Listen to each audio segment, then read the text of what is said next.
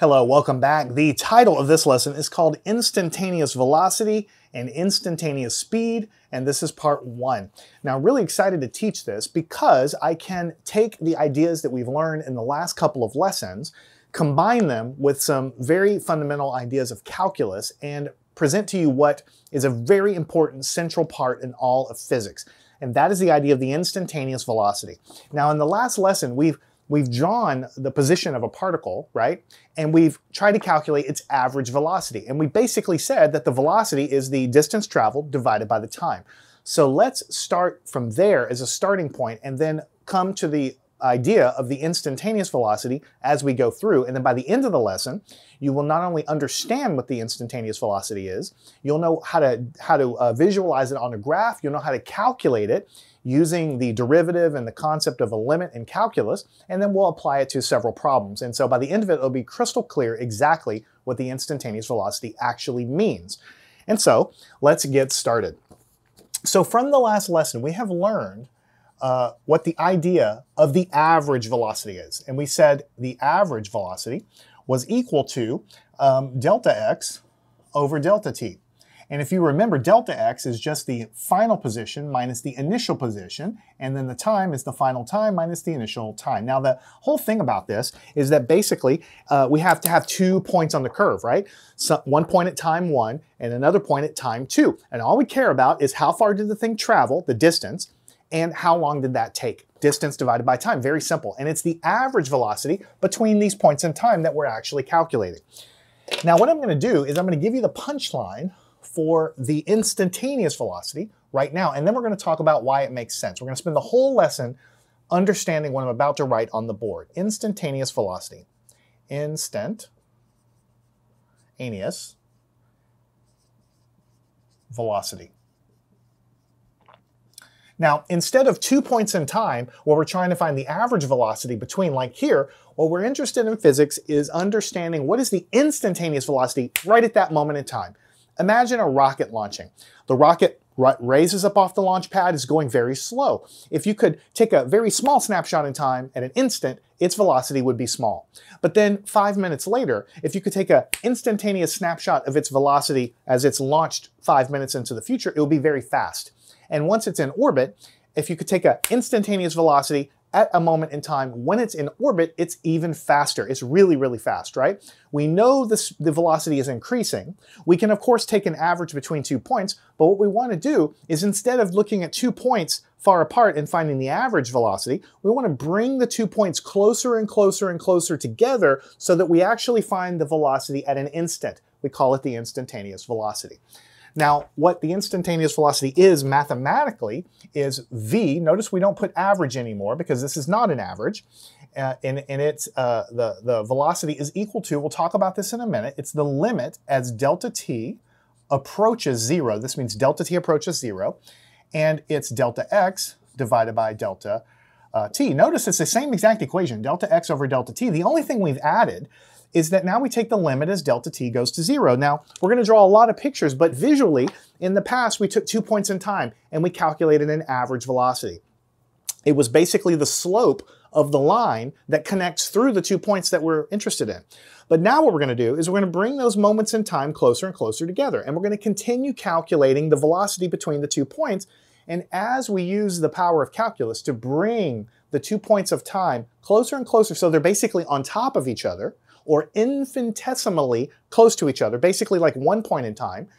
That is the idea called taking the limit of something as the time interval approaches zero. So we're still taking the distance and dividing by the time between two points, but we just bring those two points basically so they're infinitesimally on top of each other. That's what this is called.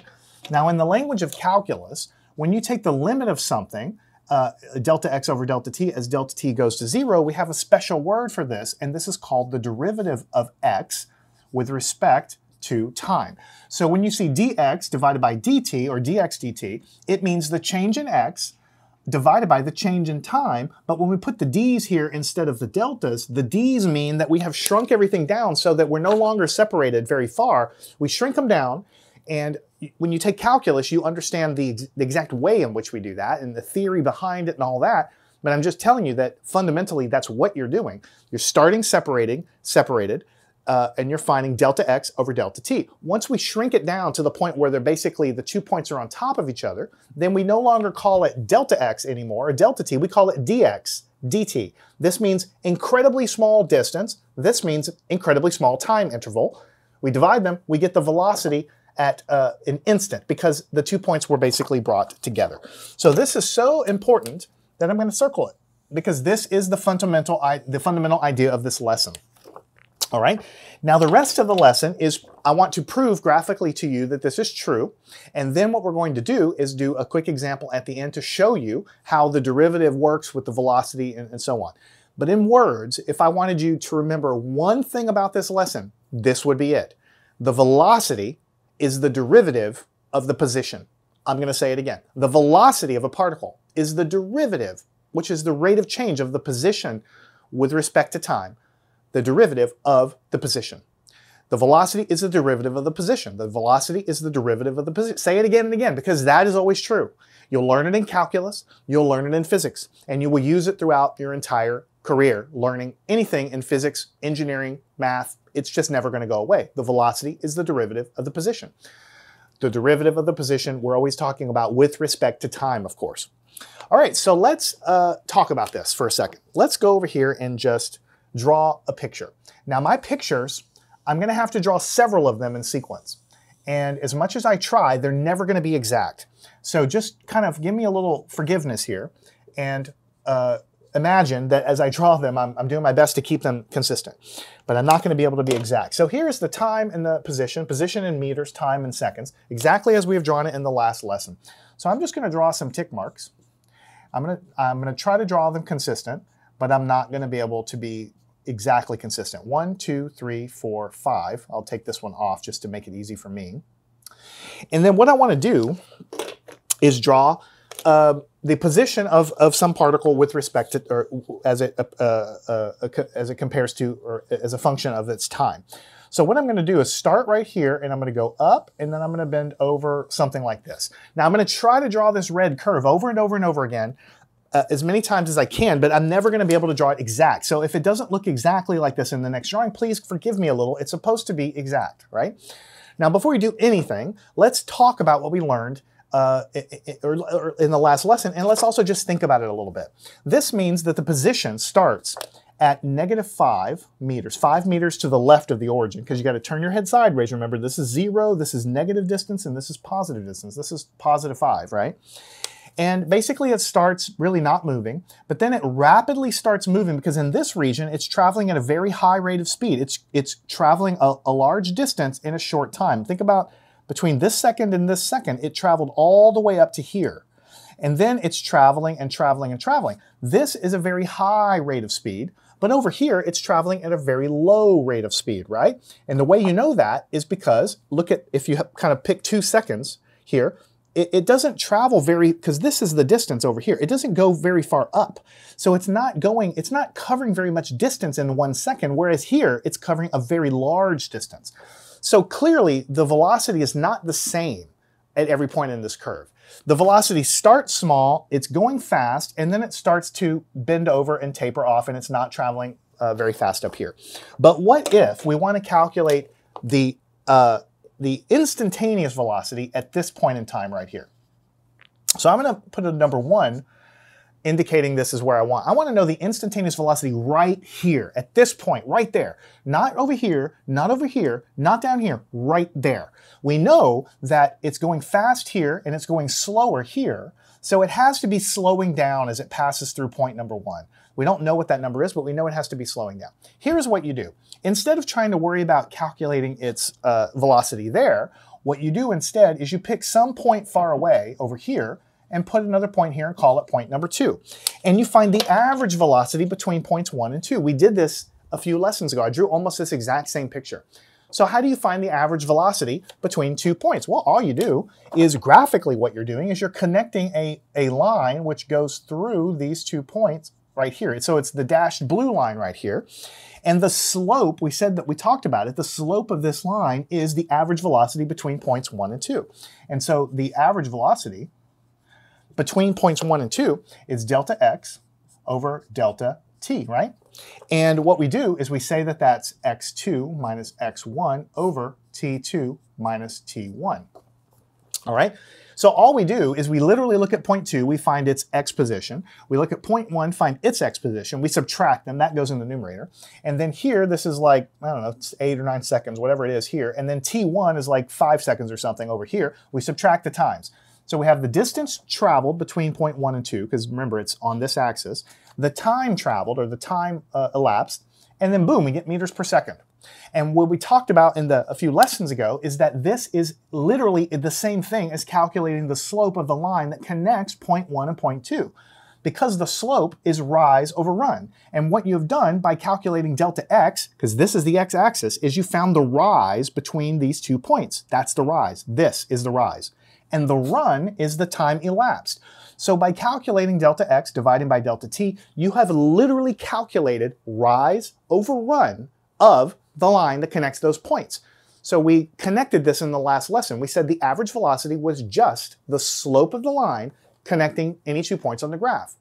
All right, now this is the average velocity here. What we really want is the instantaneous velocity here. So what we're gonna do in the next drawing is we're gonna bring this point a little bit closer. Let's bring it somewhere around right there. So let's redraw the graph over here.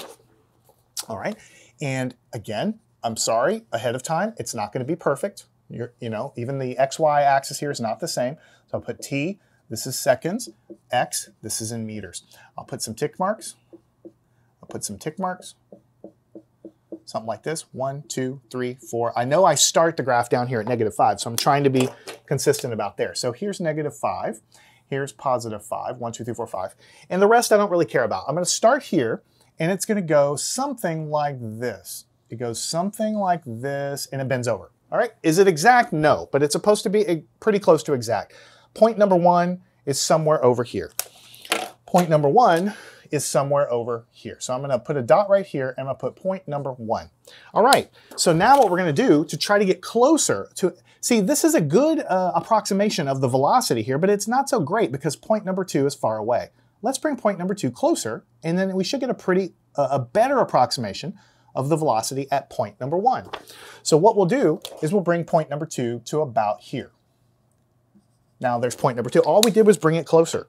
So we literally could do this. We could literally just calculate the slope of the line connecting these two points like this. So what I'll do is hopefully not mess it up and I'll make I'll, I'll draw a line connecting these two points right here.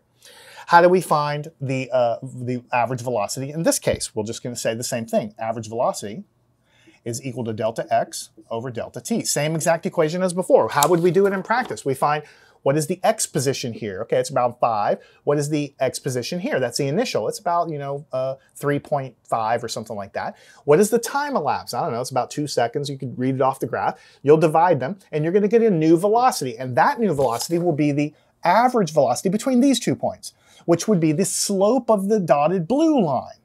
So you see what happens. As you have a point far away, you have an average velocity, which is the slope of this line. It's an okay approximation for the instantaneous velocity here, but it's not so great because point two is far away. Look at all the changing happening between point one and two.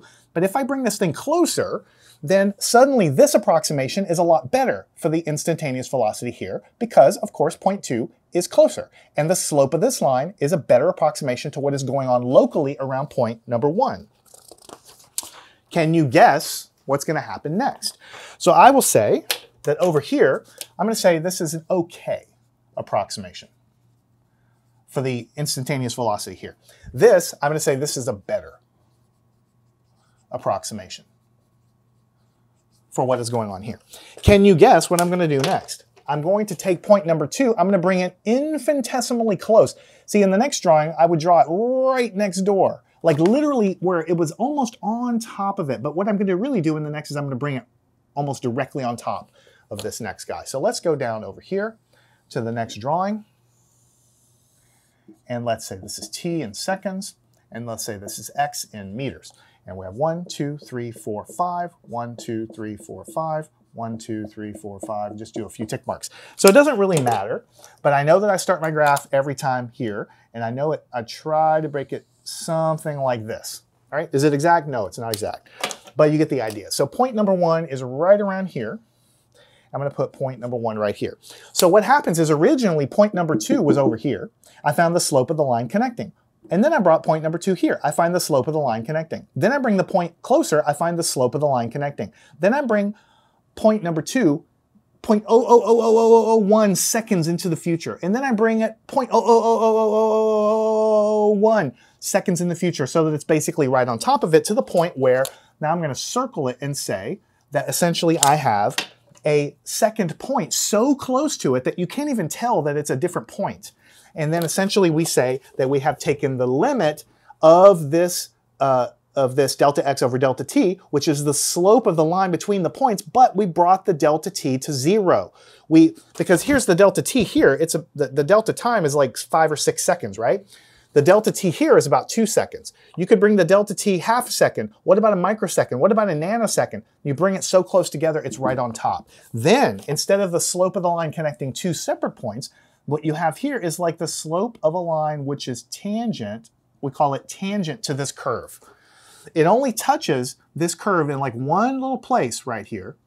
And that it only, when we, when we say a line is tangent to a curve, we mean that it just kisses the curve. It touches it only in one place. Instead of going to two separate points, when you bring the points close together, it just touches the surface only at point number one. All right? And then, so we're going to call this the tangent line. And just like the slope of this was the average velocity, the slope of the tangent line is the what we call the instantaneous velocity at that point. And then we say that the instantaneous velocity is uh, equal to the limit of delta t approaching zero of delta x over delta t. And in calculus, we rename this whole limit process and all, of all this stuff as just dx dt.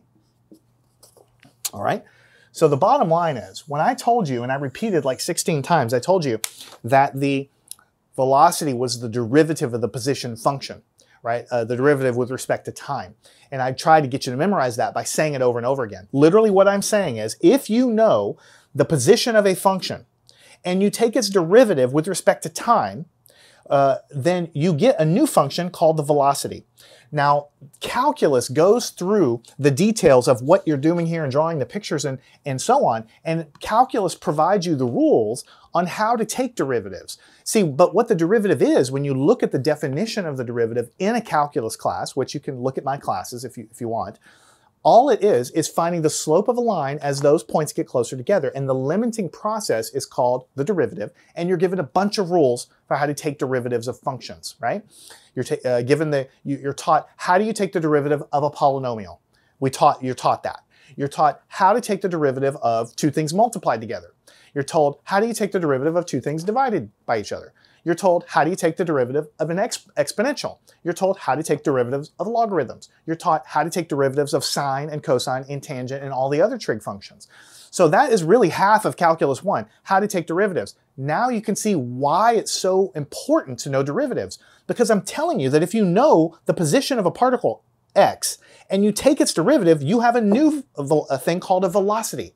So if you observe a particle in a laboratory making uh, some path, and if you could take that path and map it as a function, a position function, and then calculate its derivative using the tools of calculus, then you immediately know its velocity everywhere at all points. And the velocity will be the slope of the line tangent at that point. So this is point number one. The slope of the line tangent is called the velocity, right?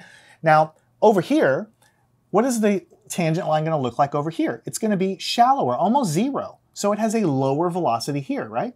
The slope is in the middle here, so it's a middle velocity. What is the slope of the line tangent to a curve here? The slope of the line would be something, uh, uh, uh, something approaching like this, a very high slope. And then down here, notice the curve bends a little bit. The slope here is very, very low.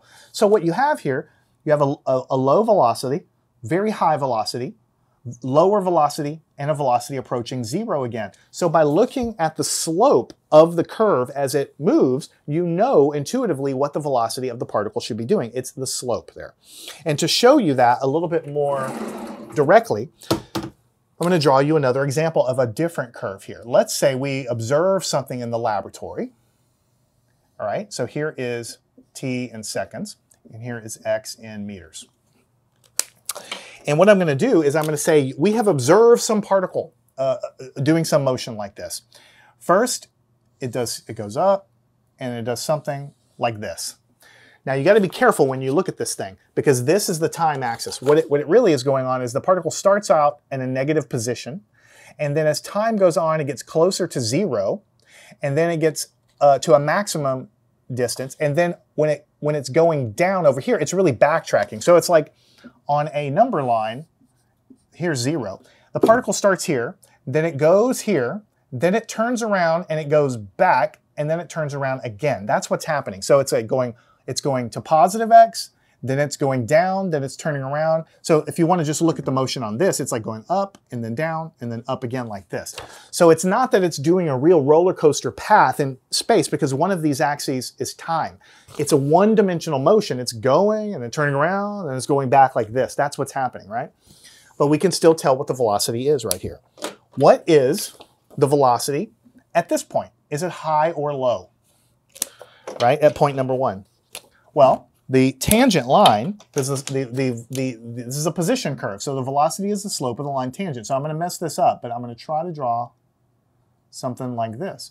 The slope of the line tangent is very high and it's positive, so the velocity is positive. Right? The velocity is positive right there. What is the, what is the velocity of the particle right here? Well, this is right at the tippy top where it turns around. So actually, the tangent line is totally flat right here. What is the slope of a flat line? The slope of a flat line is zero. So right here, the velocity is exactly equal to zero. Same thing is going on down here because the tangent line right here is also flat. And so right here, the velocity is equal to zero again, right? Because why? Because remember what's happening. The particle is starting to the left of zero, that's down here negative. It's going here and then it has to turn around. But as it turns around, its velocity has to become zero for just a moment. I mean, you think about it. If this is the particle, if I'm going to turn around, then I must stop momentarily to come back. At that moment of stopping, the velocity is zero. These are the points when I'm turning around. The slope is zero, and that means the velocity of the particle is zero because I'm turning around. Now over here, the slope of the tangent line is again positive, so the velocity uh, is greater than zero, again positive. What is the slope right here? Well, it's hard for me to draw right here without cramping it, but the slope of the tangent line is going to look something like this. So the, the, the slope is negative right here. So the velocity here is less than zero. The velocity is negative, right? Now, what does that mean, by the way? So here we have, uh, this is really what's happening. These are positive numbers, uh, a position here, uh, here. These are positive here, like plus one, two, three, and this is negative one, two, three. So this is like negative three right here. So when I have a positive velocity, it means I'm moving in the x direction. When I have a negative velocity, it means I'm moving towards the negative direction. So when I am here, I'm traveling towards the positive x direction, so my velocity is positive. Here my velocity is zero, I turn around. As I'm traveling down, my velocity is negative because I'm traveling towards the negative x direction here. Then, once again, I turn around. So the uh, speed is zero for a second, the velocity. And then as I move again, my velocity is positive. So at any point on this graph, at any point on the blue graph, if you can see what the slope of it is, you can tell if the velocity is positive or negative or zero. And because that is the slope of the line tangent, which we also call the derivative, if you calculate the derivative of the position function, you know the velocity at any of these points. And I'm going to show you that in just a minute with a, with a very good example. But before we get, that, uh, get to that point, I want to talk to you about the instantaneous speed. Instantaneous, that's what that means, speed, right, uh, is equal to the magnitude or the absolute value of the velocity. Notice that I said sometimes the velocity is zero, sometimes the velocity is positive, sometimes the velocity is negative. So we said velocity has a sign. The sign tells you which way it's going. So velocity is a vector because it carries direction information, positive or negative, uh, and it also carries a number, how fast the thing is going. But speed is basically like how fast you're going. It doesn't even matter what direction you're going. So you take the absolute value. The velocity might be zero, it might be positive, or it might be negative. If we take the absolute value, we strip away the sign information. The instantaneous speed is simply the velocity number with no sign information. So we just take the absolute value of this guy. So the, the, uh, the title of the lesson is instantaneous velocity and instantaneous speed. If you ever need to know the instantaneous speed, you just find the velocity and you take away any sign information, take its absolute value, and, and you have the instantaneous speed. All right. Now, what we want to do is put this into practice. We're going to do um, a, a, great many problems, okay, to, to get you comfortable with this. But I want to do one really quick one right here to, to drill it down. We've said many times that the velocity of a particle is the derivative of the position, which is the rate of change of its position with respect to time. And we use the tools of calculus to find that derivative and so on. What we want to do here is do a concrete example. Let's say that I have a particle, uh, and I'm going to draw what that particle looks like, right? I'm going to draw it on this little grid right here. And uh, this is x. And it's going to be a different graph than what I've drawn before, so I won't bore you with exactly the same situation or setup. So let's say that it looks like a parabola. So for, for here, it goes like this, something like this. And what I'm going to do is I'm going to draw the back end of it, but I'm going to draw it as a dotted line. Because really, we only care about the motion of this thing from time zero on. We don't really care about the negative time before the experiment starts but it's the mirror image and you can see it's not even a perfect parabola, but you get the idea. This is a, a nice parabola, okay? And what I'm gonna tell you ahead of time, I'm gonna tell you that this particle, x, this is in meters, this is not a function of m, this is just telling you meters. x of t, I'm gonna tell you, is t squared. So now what I've done is something different than the previous problems. I've drawn a path, I'm telling you what the function of the position is, and it is a function of time. That means what you do is you literally measure a particle, at every second, you measure its distance away from the origin. And you put all that, and when you graph it, you find out that it's an exact parabola. What would something like this look like? Right? We can make a little chart. We can say this is a t, and then we can find x of t, which is equal to t squared. So I'm telling you now, I'm not just drawing a picture. I'm saying here's some measured data. So what we basically have figured out is that, remember, this is one-dimensional motion. So in, at zero seconds, Zero squared is zero, so it's zero minutes, uh, zero meters away from the origin. Right, it's right there. Then at one second into the future, we square the one, that one squared is one, and so we are, x is equal to one meter away. All right, now two seconds, we put two in there, two squared is four, so we are now four meters away. At three seconds, three squared is nine, we are now nine meters away we, at four seconds into the future, four squared is 16. We are now 16 meters away. And I'll do the last one, five. At five squared, we are now 25 meters away. All right? So this is an example of an actual function. You might actually be in the lab on one-dimensional motion, and you might literally start your clock, and you might say, okay, zero seconds, where am I? Oh, I'm at zero. At one second, where am I? Well, I'm, I'm one second, I'm one meter away. At two seconds, I'm now four meters away. At three seconds, I'm now nine meters away from the origin. At four meters, I'm now 16 minutes, meters away from the origin. And I write all this stuff down. I put it into a chart and I realize that this is exactly a parabola. So the position of this thing is really a function of time and it, it, matches exactly a parabola. So if you graph it as a function of time, it draws this beautiful parabola shape. Now, before we do anything with calculus, tell me Right here at the origin, is the velocity low or high? Well, right here at the origin, the slope of the line tangent is flat, so the velocity is zero here. But right here, the slope of the line tangent is positive, so this is a positive velocity. But the slope of the line tangent here is much, much higher, so it's a higher positive velocity. So what this is telling us is we start at zero speed, then we have middle speed, higher, higher, higher, higher speed, because the tangent line is increasing its slope all the time because velocity is the slope of the line tangent to the position curve. Does it make sense? Does this map something that looks like it's speeding up? Well, look, in one second, I only went one meter. But over here, in one second, I went a ton more meters. I have to be traveling faster here. So as I go through this motion, even from the raw position data, it looks like the thing is speeding up. And from the graph, we can tell that the velocity is constantly increasing. So now let's apply what we've learned in this lesson, which is the main thing we've learned in this lesson is to find the velocity of anything. Once we know its position, we just take its derivative with respect to time, and then we have a new function called the velocity, and that velocity will tell us the velocity of the particle everywhere after we, after we do this. So what we do is we say, all right, what we'll do is we'll go over here is we will say that the velocity is equal to dx dt. But x is equal to this, right? So x is equal to t squared, right? So what we do is we take the derivative of this function, which is uh, t squared. So I guess you could plug it in. You could say d, uh, you could do t squared, you know, but that's, that's too complicated. Basically, let's just say, let's just erase this. That's kind of silly. We know how to take derivatives of polynomials in calculus. When you take the derivative of this thing, the derivative of t squared, you pull the exponent down, and you put the variable there, and then the exponent becomes the, original exponent minus 1. So the derivative of t squared is 2t. If you don't know how to do that, then you really just have to review the calculus. That's covered in the very beginning. We learned very, very early on how to take derivatives of polynomials. So any polynomial you give me, I can take the derivative. The exponent comes down in front, the variable is here, and then the exponent is minus 1. So 2 minus 1 is 1. So the derivative here is 2 times t. All right?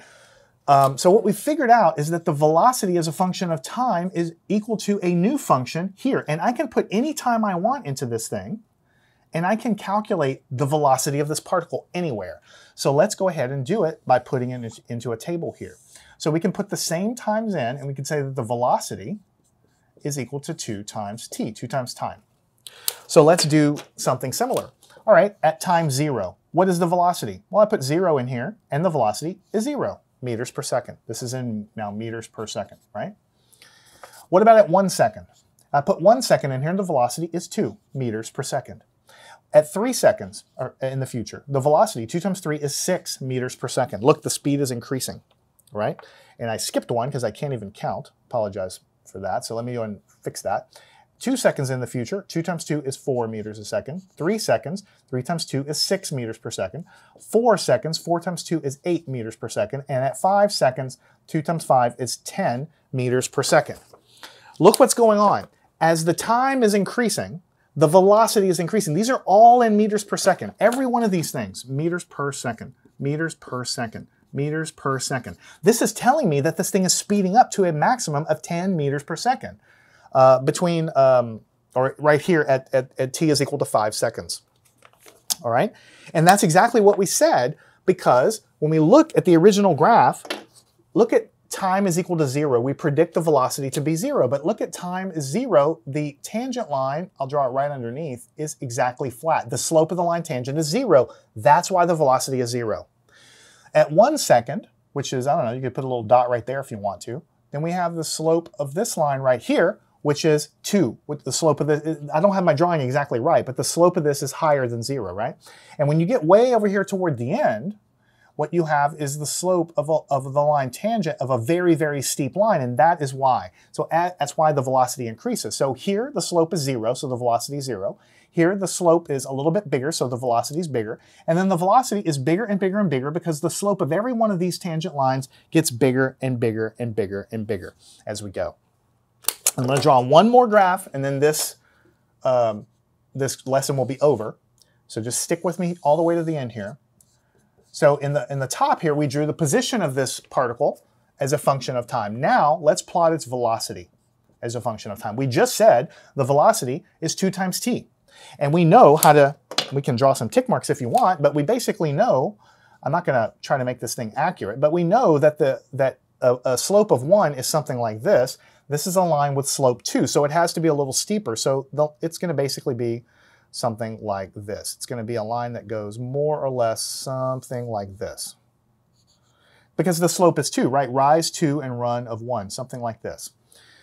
So what we have figured out is that the position of the particle looks something like this. The velocity of the particle is a line. What this means is that one second, the velocity is here. Two seconds, the velocity is here uh, uh, three seconds, the velocity is higher. Four seconds, the velocity is higher. But at every moment of time that I'm increasing, the speed, I'm, I'm speeding up at the same, I'm speeding up at the same rate. I mean, I'm always going faster, but every second in the future, I'm increasing my speed uh, at the at the same rate. Now, very soon, we're going to talk about the acceleration. When we increase our speed, we call it acceleration. And so I'm accelerating at a constant rate because every second I'm increasing my velocity by the same amount. You can see it's increasing by two every time I go up here. All right, I think that that is enough. The point of this lesson is to show you what the instantaneous velocity is, which is what we've been doing up here, to prove to you why it's the derivative of the position, and then to show you a quick example. And we're going to do more examples in the in the future with the you know with with example problems in just a minute. But just to recall, in the beginning, we talked about the average velocity, delta x over delta t, between two points in time. And we pick those two points in time anywhere we want, and we basically said that when we find uh, delta x over delta t, we're finding rise over run. So we're finding the slope of the line that connects these two, right? And if we want to know the velocity at exactly this moment, we'll just bring point number two a little closer and find a new approximation. So we bring it a little closer, we find a new line that goes through both of these points. The slope of this line is the average velocity here, which is a better approximation than the one we had before, but it's still not great. Let's bring it right on top, infinitesimally close. So we say that it's now, those two points are not separated anymore. Really, they're right, right, right, very, very close to each other. So the line that was connecting them is really what we call tangent. It touches the curve at one point. And the velocity of the uh, particle at this point is the slope of the line tangent to that point. And we say that the instantaneous velocity is the limit of delta x over delta t as the time interval gets very, very small. We call that in calculus the derivative of the position as a function of time. Now, in real life, we usually model the position as a function. And so we can then take the derivative of that and we can find the velocity anywhere we want. And we kind of gave another example and said, what about a different motion of a particle? Sometimes the slope of the tangent line is positive, Sometimes the slope of the tangent line is negative. Sometimes the slope of the tangent line is zero. When the slope of the tangent line is zero, that means the velocity is momentarily zero as the particle turns around. Here the particle is moving positively. Here the uh, uh, particle is moving negatively, meaning down towards negative. And here the particles are turning around, right? And the instantaneous speed is just the instantaneous velocity when you strip off any sign. That's what we, we call speed. And then we said, all right, let's do an actual example. Now we have a particle we've measured in the laboratory and we collected data. At every second in time, this is the distance the particle is away from the origin. That is mapped exactly into a parabola. You put the value of the time in and it comes out with the distance away that it is. And from the tools of calculus, we can then take the derivative of this thing, of this function, uh, x is a function of time. And when we do this, we, it becomes 2t. And then whenever we get that, we can plot this guy and we know then its velocity at any point in time and we can just see that the thing is speeding up the whole way, which maps exactly with what we say here. The slope is zero, then bigger, bigger, bigger, bigger, bigger, so it has to be speeding up. When we plot the velocity, we get a totally different curve, but basically these are lined up such that this curve is telling you the slope of the line tangent at any point in time, and you can see that the velocity is increasing as time goes on because the slope of all the lines tangent is increasing as time goes on. I'm repeating myself several times as we go through it because I believe it's necessary. If you got it, I'm super happy. But most of us, it takes a little while to internalize. And you have to cross-reference the slope of this thing, the slope of the line tangent, that's the velocity. Okay, I plot the velocity. Okay, it's going up. Okay, it's positive, it's negative, it's zero. What does it mean? You got to think about this stuff. You can't just like, oh, I got it. I mean, I think you have to, it needs to bake in the oven a little bit, right? And the stuff we're learning here, you learn it in calculus in a little more detail, a little more rigorously. But what we're going to do now is use this information to conquer some problems in physics dealing with the instantaneous velocity. So if I want to know the instantaneous velocity of a particle at any moment in time, what I do is I take the derivative of the position function and then I put in that value of time and I will get a velocity at a specific instant of time. And so then as that rocket raises off the ground, it's going very slow, but the rocket then goes faster and faster and I can find the instantaneous velocity as I move on into the future by taking the derivative and putting in any value of time that I want. So go through this a few times, follow me on to the next lesson, we'll solve a few problems with instantaneous velocity.